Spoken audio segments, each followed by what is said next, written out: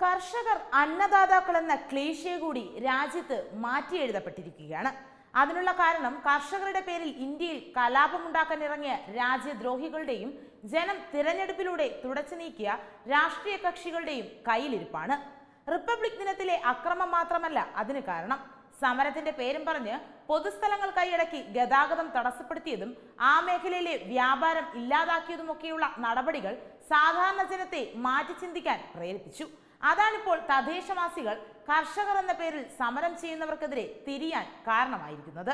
Republic ദിനത്തിൽ കലാപമുണ്ടാക്കി police വെടിവെപ്പും മറ്റും പ്രതീക്ഷിച്ച് കുത്തിത്തിരിപ്പിന് അച്ചുനിരത്തിയവർക്ക് ആകെ കിട്ടിയത് ഒരേ ഒരു രക്തസാക്ഷിയാണ്. ആ സംഭവം ഉണ്ടായപ്പോൾ പോലീസ് വെടിവെപ്പിലാണ് അയാൾ കൊല്ലപ്പെട്ടതെന്ന് പറഞ്ഞ് എരിവ് കയറ്റിയ മാധ്യമ ക്രിമിനലുകൾക്ക് പണി കൊടുത്തത് സി ആയിരുന്നു. സി സി ടി വി ബൂർഷ കുത്തക ഉൽപ്പന്നമായി കണ്ട് ബഹിഷ്കരിക്കേണ്ടിയിരിക്കുന്നുവെന്നാണ് ഒരു വിഭാഗം പ്രമുഖ രാഷ്ട്രീയ നേതാക്കൾ പറയുന്നത്. കർഷകർ നാളെ മുതൽ കൃഷി ചെയ്തില്ലെങ്കിൽ എന്ത് ചെയ്യുമെന്നാണ് ഏറ്റവും വലിയ ക്ലീശേ ചോദ്യം. നിങ്ങൾ മനസ്സിലാക്കേണ്ടത് ഇന്ത്യയിൽ പന്ത്രണ്ട് കോടി കർഷകരുണ്ട്. അല്ലാതെ ദില്ലിയിൽ കലാപം നടത്താനിറങ്ങിയ പതിനായിരം പേർ മാത്രമല്ല. എന്തുകൊണ്ടാണ് ഇന്ത്യയുടെ മറ്റു ഭാഗങ്ങളിലെ കർഷകരിൽ നിന്ന് ഇവർക്ക് പിന്തുണ കിട്ടാത്തത്? അവസാനം സഹികെട്ട് കേരളത്തിൽ നിന്ന് ആഡംബര ബസ്സുകളിൽ അമ്മിണി കൗറിന്റെ നേതൃത്വത്തിൽ അന്തങ്ങളെ അവിടേക്ക് കൊണ്ടുപോകേണ്ടി വന്നു. തിരികെ ചോദ്യത്തിലേക്ക് വരാം. കർഷകർ നാളെ മുതൽ കൃഷി ചെയ്തില്ലെങ്കിൽ എന്ത് സംഭവിക്കും? മറുപടി അല്പം ക്രൂരമാണെങ്കിലും ഇതാണ് യാഥാർത്ഥ്യം. ഈ സമരം ചെയ്യുന്ന വേട്ടാവളിയന്മാർക്കൊന്നും സംഭവിക്കില്ല. കാരണം അവർ ഇടനിലക്കാരായ കോടീശ്വരന്മാരാണ്. ബാക്കിയുള്ള യഥാർത്ഥ കർഷകർ പട്ടിണി കിടന്ന് ചാകേണ്ടി വരും. ഇതാണ് വസ്തുത. കൃഷി എന്നതും ഒരു പ്രൊഫഷൻ തന്നെയാണ്.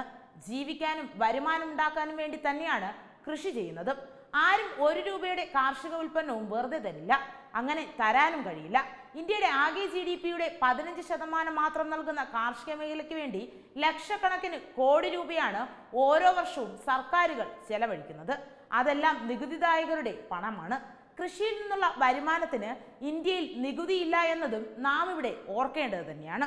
വളം subsidy irrigation subsidy power subsidy seed subsidy loan subsidy താങ്ങുവില ഇൻഫ്രാസ്ട്രക്ചർ സബ്സിഡി എക്സ്പോർട്ട് സബ്സിഡി അങ്ങനെ കാർഷിക മേഖലയ്ക്ക് വേണ്ടി രാജ്യത്തിന്റെ നല്ലൊരു പങ്ക് വരുമാനം ചെലവഴിക്കുന്നുണ്ട്. ട്രാക്ടറുമായി നിയമപാലകരെയും പൊതുജനങ്ങളെയും കൊല്ലാൻ നോക്കിയ ക്രിമിനൽ കൂട്ടങ്ങൾ ഓടിച്ച ട്രാക്ടറിന് വരെ മുപ്പത്തി അഞ്ച് ശതമാനമോ അതിൽ കൂടുതലോ സബ്സിഡി നൽകുന്നുണ്ട്. ഈ സബ്സിഡി എന്നത് നമ്മുടെ നികുതി പണം തന്നെയാണ്. ഇന്ത്യയിൽ ഏതാണ്ട് ആറ് ശതമാനം പേരാണ് ഇൻകം ടാക്സ് അടയ്ക്കുന്നത് എന്നതും നാം ഇവിടെ ഓർക്കേണ്ടതാണ്. ആകെ നികുതിയുടെ മുപ്പത്തിയഞ്ച് ശതമാനവും പ്രത്യക്ഷ നികുതിയാണ്. അതിന്റെ എണ്ണം ഇത്രയും കൂടിയത് തന്നെ നോട്ട് നിരോധനത്തിന് ശേഷമാണ്. ആകെ വരുമാനത്തിന്റെ മുപ്പത്തി അഞ്ച് ശതമാനം വരെ നികുതി അടയ്ക്കുന്നവർ വീണ്ടും പണം ചെലവഴിച്ചാണ് സാധനങ്ങൾ വാങ്ങുന്നത്. അവൻ വീണ്ടും പരോക്ഷ നികുതിയും നൽകുന്നു. നാളെ മുതൽ ഈ നികുതിദായകർ ഞങ്ങളുടെ നികുതി പണം എടുത്ത് സബ്സിഡി കൊടുക്കാൻ പാടില്ല എന്ന് കുടുംബസമേതം പറഞ്ഞ് തെരുവിലേക്ക് സമരമെന്ന് പറഞ്ഞിറങ്ങിയാൽ എന്താകും സംഭവിക്കുക? കർഷകർ അന്നദാതാക്കൾ എന്ന ഈ ക്ലീഷേ ഡയലോഗിന് പകരം വെക്കാൻ വേറെ കുറേ ഡയലോഗുകളുണ്ട്. അതായത് നാളെ മുതൽ ഡോക്ടർമാർ ഹോസ്പിറ്റലിൽ ജോലി ചെയ്തില്ലെങ്കിൽ എന്ത് ചെയ്യും? പോലീസുകാർ ജോലി ചെയ്യാതിരുന്നാൽ എന്ത് സംഭവിക്കും? ടീച്ചർമാർ പഠിപ്പിക്കാതിരുന്നാൽ എന്ത് സംഭവിക്കും? വക്കീലന്മാർ കോടതിയിൽ പോകാതിരുന്നാൽ എന്ത് ചെയ്യും? ബാങ്ക് ഉദ്യോഗസ്ഥർ ലോൺ കൊടുക്കാതിരുന്നാൽ എന്ത് ചെയ്യും? ഞാൻ ഈ പറഞ്ഞ ഡയലോഗുകൾ വെറും കോമാളിത്തരമായി തോന്നുന്നു അല്ലേ? അത് തന്നെയാണ്. കർഷകർ കൃഷി ചെയ്തില്ലെങ്കിൽ എന്ത് സംഭവിക്കുമെന്ന ക്ലീഷേ ഡയലോഗ് കേൾക്കുമ്പോഴും നമ്മുടെ മനസ്സുകൾ തോന്നുക. ഓരോ വർഷവും കൃഷി ചെയ്യുന്നവരുടെ എണ്ണത്തിൽ കുറവ് വരുമ്പോഴും ടെക്നോളജിയുടെയും ആധുനിക ഇൻഫ്രാസ്ട്രക്ചറിന്റെയും സഹായത്തോടെ കൃഷിയിൽ നിന്നുള്ള വിളവ് കൂടുതലായി ലഭിച്ചുകൊണ്ടിരിക്കുകയാണ് ഇപ്പോൾ. ആരും സേവനത്തിനായല്ല ജോലി ചെയ്യുന്നത്.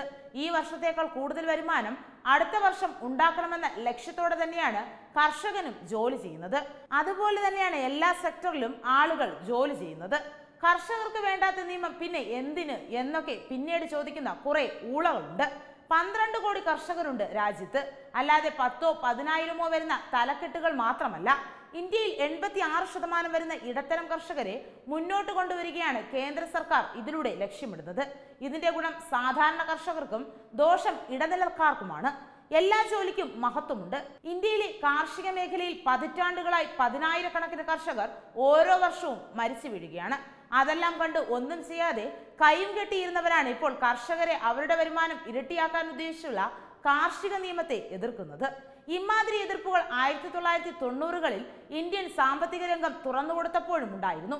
അന്നും ഇമാതിരി കോമാളികളെ രാജ്യം വകവച്ചില്ല.